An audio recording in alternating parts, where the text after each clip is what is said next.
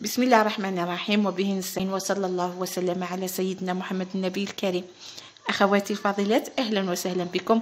أبنائي الأعزاء أحبائي صغار وتلاميذ سنة ثالثة ابتدائي أهلا وسهلا بكم. أعزائي اليوم إن شاء الله راح نشوفوا مراجعة خفيفة.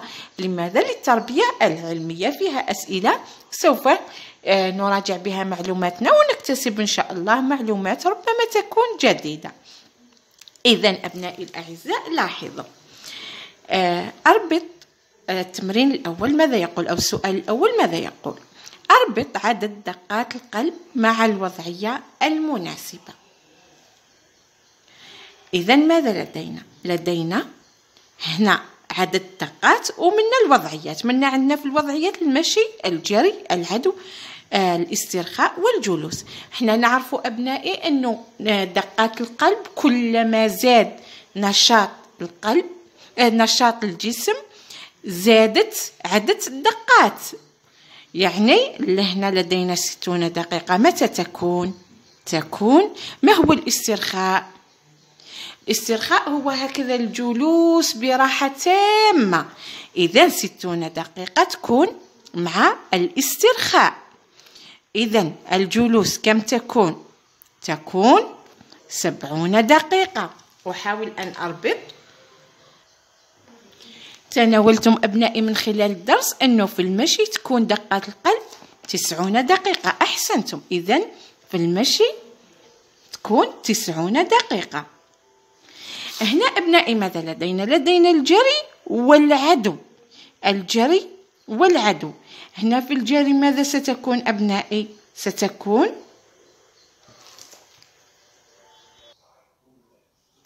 لاحظوا أبنائي هنا ماذا بقي لنا؟ الجري والعدو لاحظوا عندنا صديقين يجريوا واحد يجري بسرعة فائقة واحد يجري لكن ليس بسرعة نسميه يعدو العدو هو الجري أسرع من العدو. يعني وش كل يبذل في جهد أكبر؟ هو الذي يجري بسرعة. إذا اللي يبذل جهد أكبر هو اللي دقات قلبه تكون تدق بسرعة. إذا 180 للجري 180 للجري. وهنا بقيت 150 هي للعدو.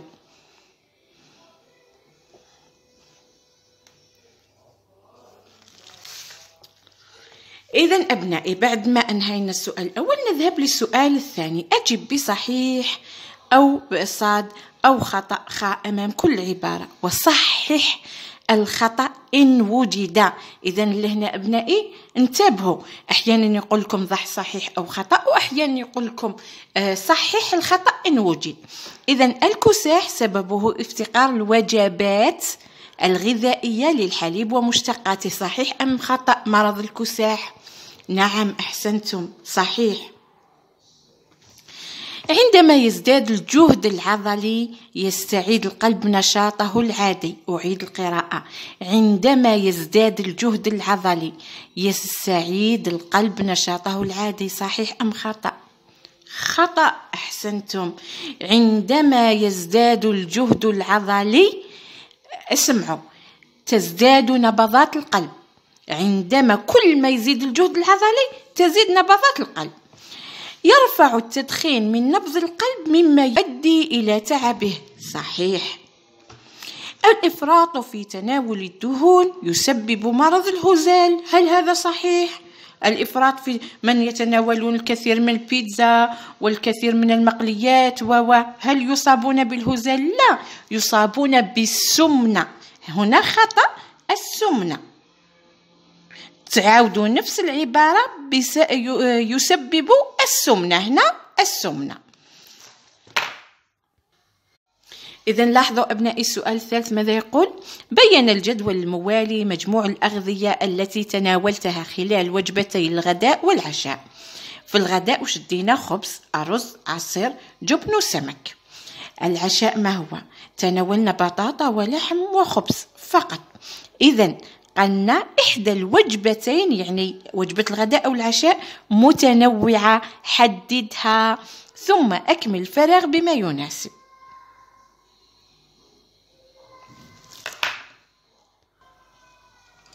إذا أبنائي نأتي هنا لماذا؟ لنعرف الوجبة الغذائية المتنوعة ما هي الوجبة الغذائية المتنوعة؟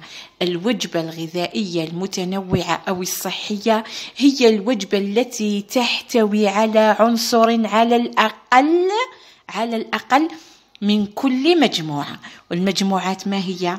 هي اللحوم الحبوب الخضر والفواكه والحليب ومشتقاته أعيد الوجبة الغذائية المتنوعة أو الصحية هي الوجبة التي تحوي على عنصر على الأقل من كل مجموعة وتسميو المجموعات. هنا أبنائي ماذا لدينا في الوضعية الإدماجية؟ يعاني سامي يوميا من تعب شديد وإرهاق مستمر لا يزول. حيث يكثر من تناول الحلويات والأغذية الدسمة بالإضافة إلى عدم ممارسته الرياضة. التعليم أكتب فرق فقرة من ستة أسطر تشرح فيها سبب المشكل الذي يعاني منه سامي. إذا أبنائي المشكل الذي يعاني منه سامي راهو لهنا وحتى الأسباب راهي مذكورة هنا. فقط اقرأوا جيدا. وما هي الصعوبات التي قد يلقاها في المستقبل خاصة على قلبه وتنفسه. مقدما له في الأخير نصائح تساعده على تفادي هذه المشكل والحفاظ على صحته. إذا المشكل التي يعاني منها سامي ما هي؟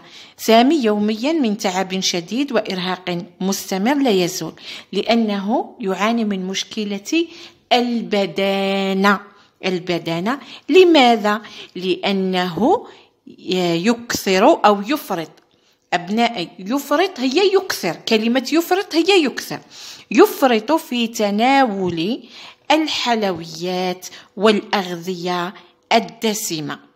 إضافة إلى أنه لا يقوم بأي نشاط رياضي.